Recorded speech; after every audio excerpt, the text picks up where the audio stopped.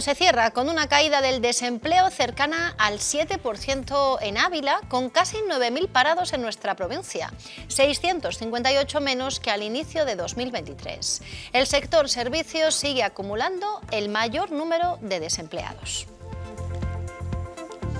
En términos mensuales, en diciembre en nuestra comunidad solo Ávila, Burgos y Palencia vieron subir el paro, aunque muy ligeramente en el caso de la nuestra. Les daremos todos los detalles en pocos minutos en este miércoles 3 de enero. Muy buenas tardes, ¿cómo están? Como siempre, comenzamos con titulares. 2023 se cerró con un repunte importante de la incidencia de la gripe que se deja notar en el arranque del año. Aunque con 134 casos por cada 100.000 habitantes, todo hace indicar que todavía no hemos alcanzado el pico. Sanidad hace un llamamiento a la vacunación en niños y mayores de 60 años. Y por este motivo, en las farmacias aumenta la demanda de test de antígenos combinados, antigripales, jarabes. Los farmacéuticos nos alertan sobre los riesgos de automedicarse y recomiendan acudir al médico si los síntomas persisten o se agravan. Un día en el que miramos a Arevalo para contarles que Spectrum Utilis, o lo que es lo mismo, el proyecto Collegium, recibirá casi 1.800.000 euros del Gobierno central para desarrollar esta iniciativa que contempla la creación de 23 empleos. Y en la capital hoy destacamos la rica biodiversidad del territorio abulense. El ayuntamiento pone en marcha cuatro nuevas rutas autoguiadas de conocimiento de nuestro entorno, una opción para adentrarnos en nuestro término municipal en estos días. Aunque también conoceremos nuevas rutas en la provincia. Eso se lo contaremos después. Ahora seguimos con los titulares también en lo deportivo. Es una prueba extrema y se han vuelto a demostrar los motivos. A 3 grados estaba el agua de Fuentes Claras al que se lanzaban los ocho participantes de la travesía de Navidad. Rubén Antonio Gutiérrez y Ángela Abad fueron los vencedores de esta gélida competición organizada por Triávila. Y en fútbol, el Real Ávila afronta 2024 con la ilusión del ascenso. En el club son conscientes de que resta mucha competición, por eso y las lesiones van a reforzar la plantilla. Sus máximos responsables ya están buscando también soluciones en cuanto a infraestructuras para mejorar en todos los sentidos.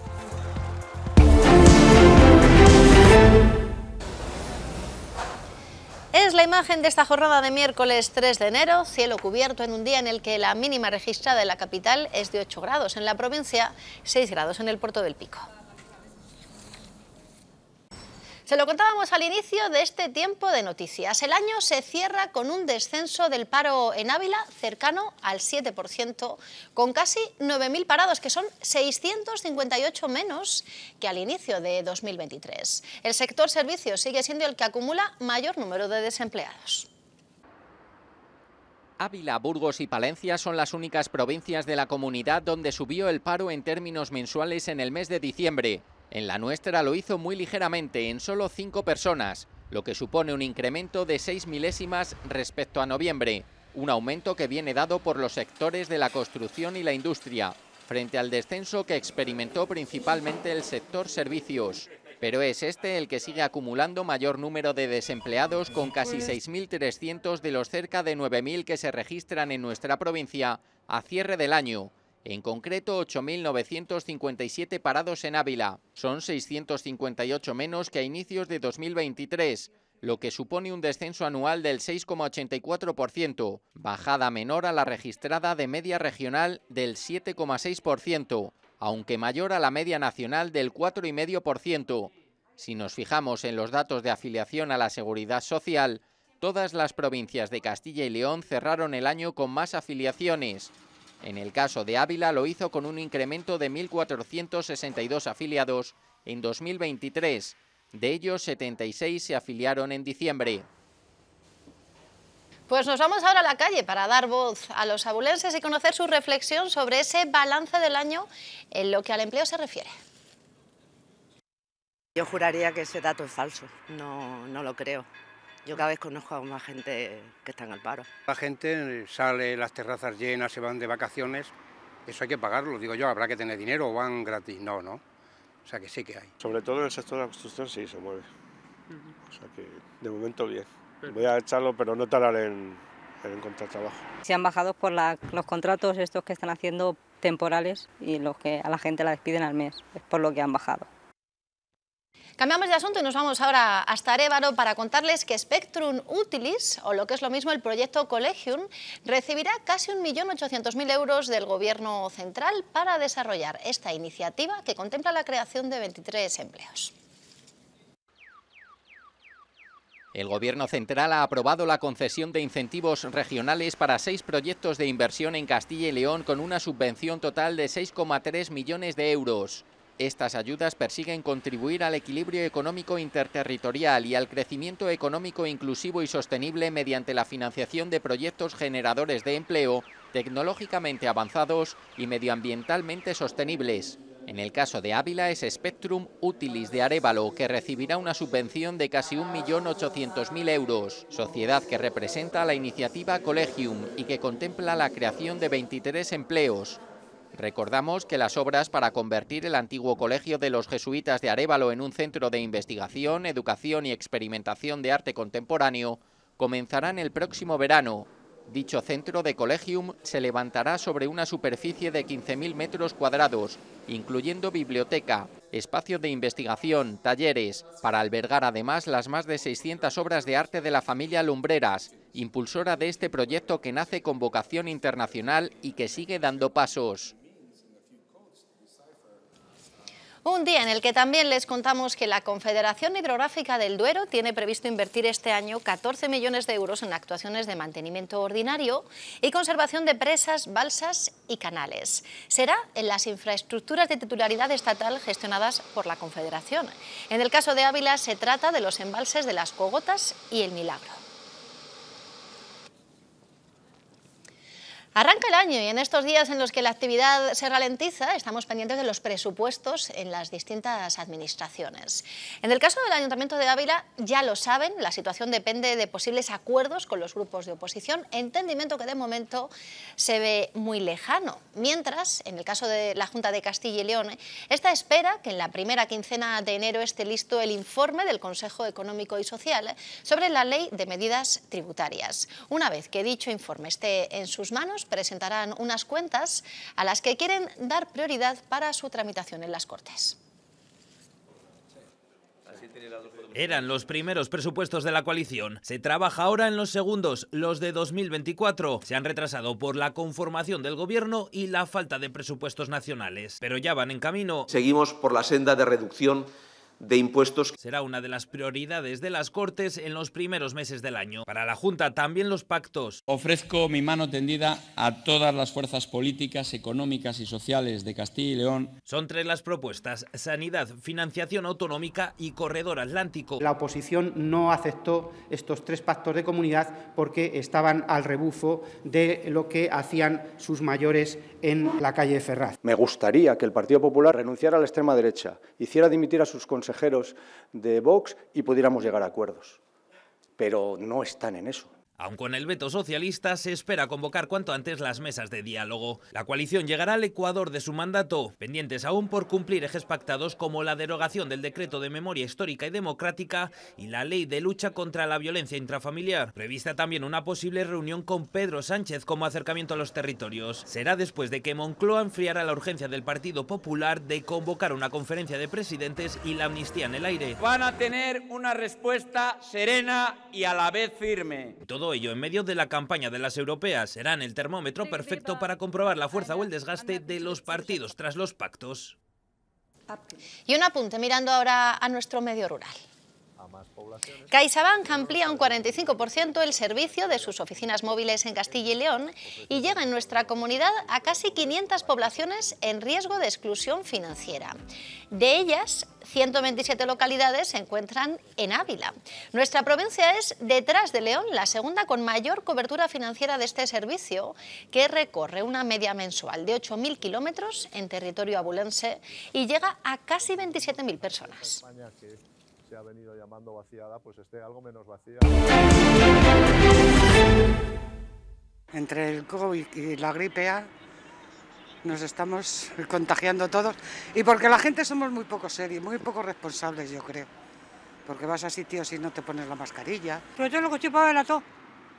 Sobre todo la tos, porque aquí mi marido tiene bronquitis. Veo mucha gente con catarro. No sé si COVID o no es COVID, pero sí que, sí que se nota. Bastante más catarro, gente con catarros muy persistentes y eso. Por ejemplo, en casa también lo, hemos tenido gente con catarro. A veces parece que sí que nos ha olvidado ¿eh? lo, que, lo que ocurrió, pero vamos, yo todavía veo pocas mascarillas. Y es que es de lo que todo el mundo habla en la calle en estos días. La gripe A, en el 75% de los casos, está por todas partes, pero la incidencia de momento ha alcanzado los 134 casos por cada 100.000 habitantes, por lo que todo hace indicar que aún no hemos llegado al pico. Sanidad hace un llamamiento a la vacunación en niños y mayores de 60 años. Hace dos semanas la incidencia de la gripe no superaba los 34 casos por cada 100.000 habitantes, es decir, no habíamos superado el umbral de epidemia que estaba en 50 casos. Pues bien, en la última semana de 2023 ha habido un repunte importante. Ya estamos hablando de 134 casos por cada 100.000 habitantes, es decir, que ya sí que tenemos un pico importante. Todavía no sabemos cuál será el pico máximo.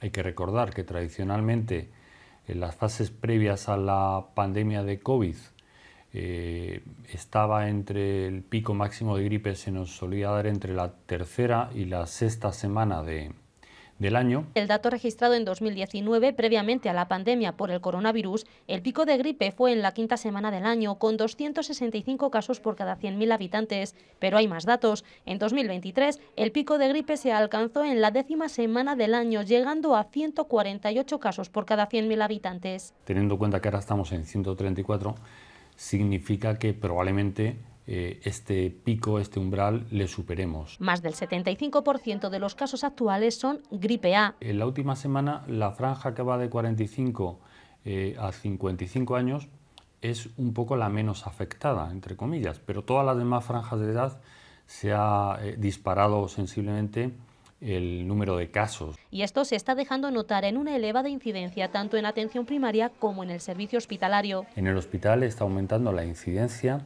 y también el número de hospitalizaciones. Luis González, jefe del Servicio Territorial de Sanidad, hace hincapié en la importancia de la vacunación frente a la gripe y es que apunta que los ciudadanos se han relajado en este aspecto. La cobertura vacunal es inferior a la del pasado año. A fecha 28 eh, de diciembre, 46.413 personas en la provincia de Ávila.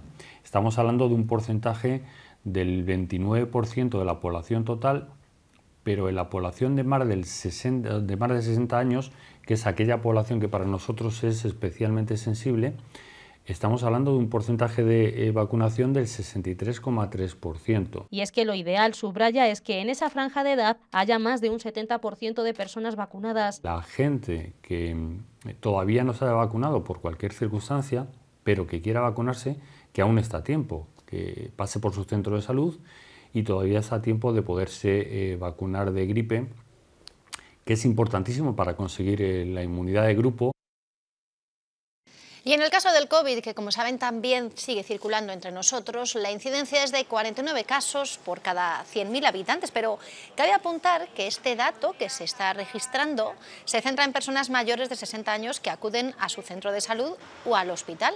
Muchos, sin embargo, no lo hacen y esos casos no se registran. Además, actualmente hay 30.800 personas que se han vacunado frente al COVID en la provincia bulense.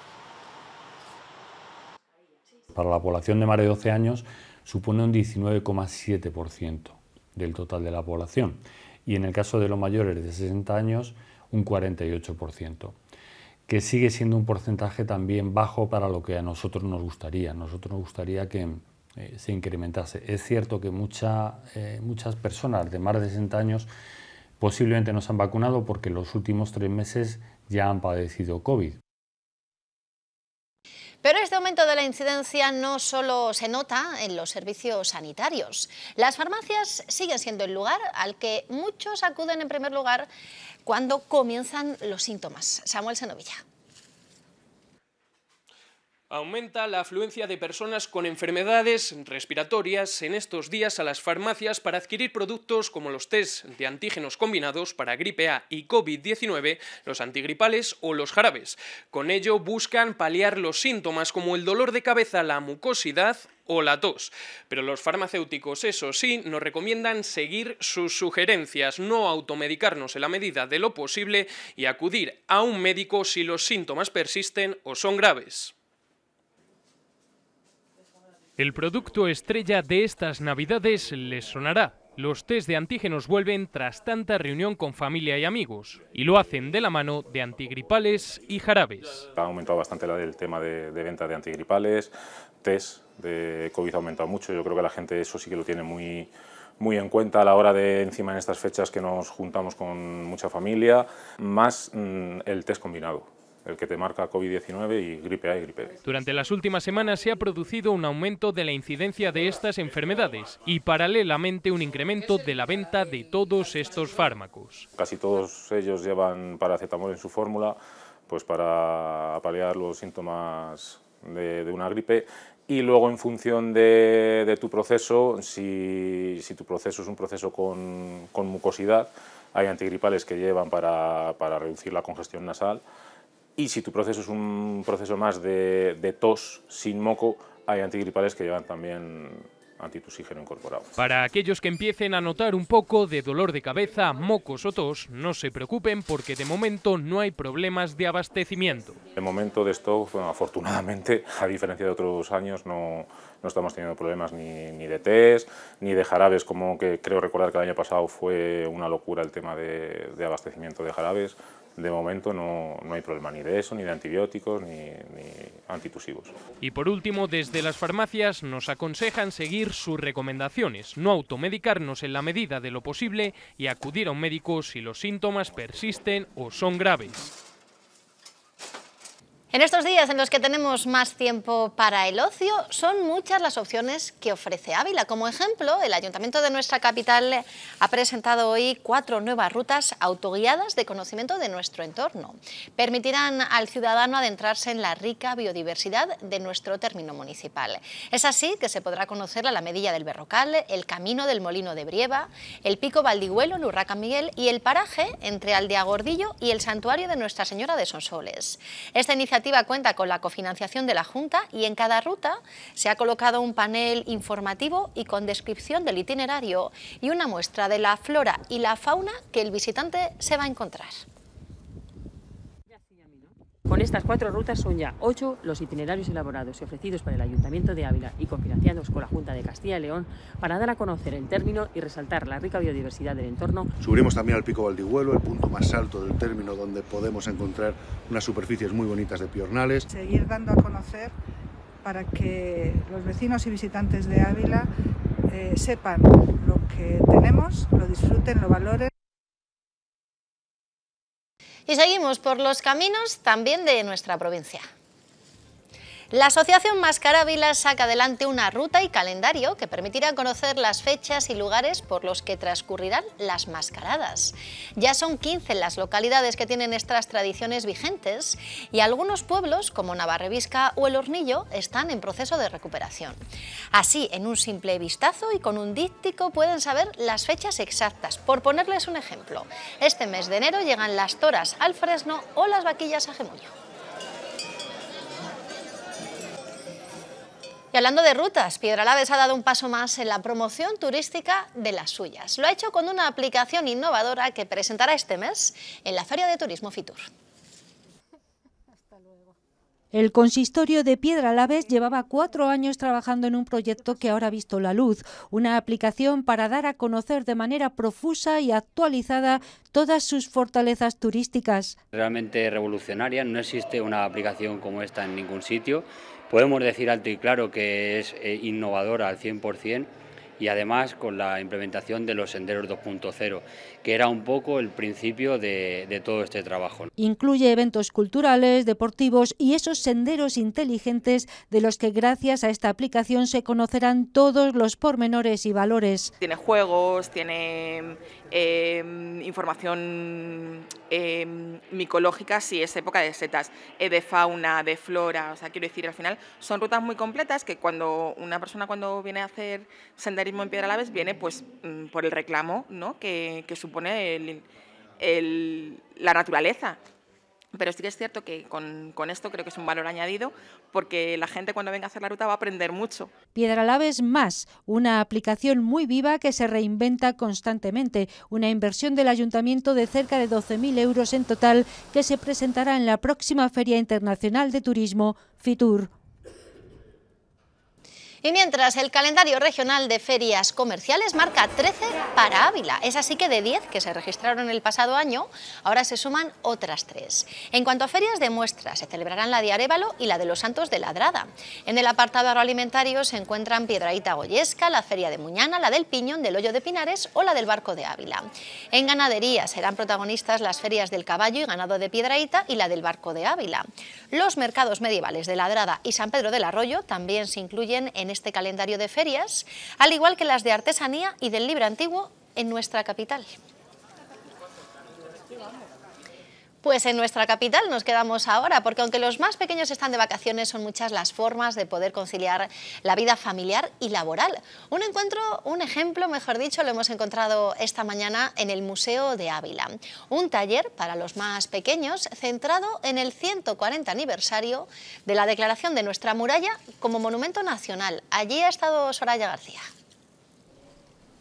Las vacaciones son para disfrutar, pero también para aprender. Y es lo que están haciendo aquí estos pequeños en el Museo de Ávila. Están conociendo de cerca aspectos diferentes de nuestra muralla, pero también de lo que significaban históricamente las fortalezas. De hecho, están construyendo cada uno de ellos su propio castillo, tijeras, rotuladores, todo ello para esa construcción. En total, una decena de niños que se han acercado hasta aquí, hasta el Museo de Ávila, para conocer muy de cerca el patrimonio de nuestra tierra. Están construyendo un castillito, eh, no muralla muralla, pero bueno, como unas torres de la, de la, propia muralla, de las de San Vicente o algo por el estilo, con su puente levadizo y bueno, pues explicándoles un poco lo que es, ¿no? Y luego también pues eh, hablamos un poco de, de la propia defensa. Hemos hecho como las piedras y hemos recortado la puerta, unos agujeros le hemos puesto cuerda para que se abra y se cierra. Estoy cortando las almenas mmm, y ahora voy a abrir la puerta del castillo. Y también para echar una mano a las familias en eso de la conciliación, el Ayuntamiento ha programado una vez más su animación infantil de invierno. Cerca de 200 menores de entre 3 y 12 años están participando de actividades que se están llevando a cabo en el Centro Vicente Ferrer y en el Pabellón de San Antonio. Tienen la opción también de acudir a madrugadores desde las 8 de la mañana, un programa que se lleva a cabo hasta este viernes. Los más pequeños, desde los 3 años, en este Centro Vicente Ferrer realizan juegos en la ludoteca, bailes y expresión corporal, cuentos o manualidades. Por otra parte, los más mayores hasta los 12 años desarrollan actividades deportivas de expresión plástica y artística y también medioambientales en el Polideportivo de San Antonio. A través de este programa no solo buscamos contribuir a que los menores participen en actividades creativas y se relacionen con otros niños en época no lectiva, sino que además facilitamos la conciliación. Es momento ahora para el deporte.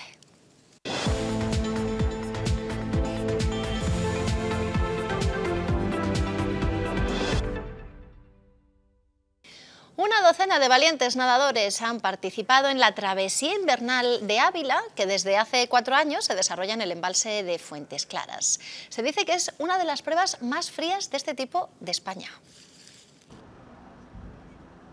Casi tienen que romper el hielo para poder lanzarse al agua. Con temperaturas que han estado bajo cero en la noche, la docena de nadadores inscritos en esta prueba han desafiado a los elementos. Es una prueba extrema, ¿no? Entonces pues el nadador necesita ahí sentirse arropado y sobre todo que si tiene cualquier problema levanta la mano y hay una barca al lado que le va a ayudar. una travesía organizada por el Club Triávila que se disputa en la modalidad contrarreloj individual, con un recorrido de 300 metros para cada nadador. Hoy va a ser un día durillo, pero habrá que hacerlo, a ver. Manteniendo una buena mentalidad y, y a seguir para adelante. Y prueba superada, con buen crono. Se ha notado que estaba un poco más fría que el año pasado, pero los, primeros 100 metros han sido complicados. No podía casi meter la cara en el agua. La recta del medio a lo mejor es el, el momento un poco así más el peor, porque estás justo en la mitad de la prueba, que todavía no ves la, el final. Con la obligación de llevar boya por seguridad. Además, efectivos de bomberos y protección civil han velado porque la competición se desarrolle sin incidencias.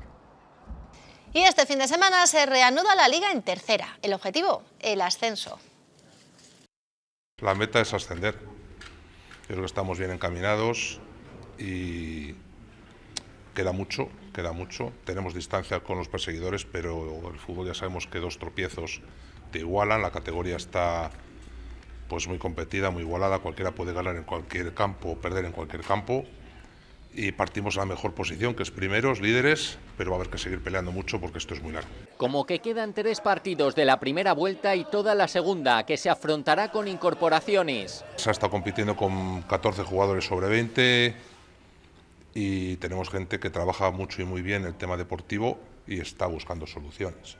Eso no significa que estemos eh, en desacuerdo o enfadados o o que pensemos que ha habido bajo rendimiento. Simplemente significa que si hay fichas libres hay que aprovechar y, y traer a buenos futbolistas para seguir manteniendo el ritmo de competición y, y conseguir el empeño que tenemos que es ascender. Si se consigue habrá que crecer y mejorar, también en infraestructuras. Ojalá ascendamos, ojalá tengamos muchos socios y si tenemos muchos socios, no sé si va a estar habilitado el estadio para, para poder admitir a todos. Entonces habrá que empezar a buscar soluciones. En ello están, asegura, aunque no es una decisión que solo dependa del club. Sus mandatarios se encuentran satisfechos con el proyecto. Estamos muy contentos, desde que hemos llegado nos hemos encontrado muy a gusto, tanto en la ciudad como en el club, y, y peleando para conseguir lo que lleva la ciudad y el club tantos años esperando. Ojalá que el brindis se cumpla y se celebre en el campo.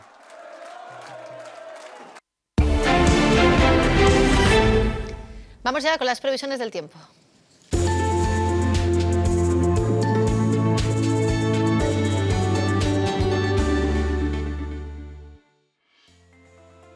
Cielo muy oscuro el que nos espera mañana en Ávila. Las lluvias serán generalizadas en nuestro territorio. Al norte los termómetros oscilarán entre los 3 y los 12 grados. Muy similar estará la situación en la capital con chubascos. Algo que se repite en nuestro viaje a la comarca Barco Piedraíta, aunque allí el mercurio descenderá a bajo cero. Más suaves serán las mínimas al sur, con 5 y 6 grados en Candeleda y Arenas de San Pedro. La previsión es de nubosidad con precipitaciones, tendiendo a disminuir en la segunda mitad del día, probabilidad de brumas y nieblas. Temperaturas mínimas en descenso y máximas sin cambios. Heladas débiles en zonas de montaña. Viento flojo del suroeste a oeste, con algunas rachas fuertes. Atención. En Alberche Pinares será muy recomendable el paraguas y el abrigo también. La máxima estará en Cebreros con 12 grados. La Agencia Estatal de Meteorología estima, por lo tanto, jornada de agua en la capital, que puede permanecer el viernes con notable descenso de las temperaturas con la llegada del fin de semana. Pues con el tiempo como es habitual nos vamos, aunque hoy lo hacemos con un toque navideño. Desde Peguerinos, en la plaza del Ayuntamiento, se puede visitar este Belén, que reproduce algunos de los edificios más emblemáticos de la localidad y también algunos de sus vecinos. Un nacimiento que se puede visitar hasta el mes de febrero y con el que hoy nosotros nos despedimos. Gracias por estar ahí.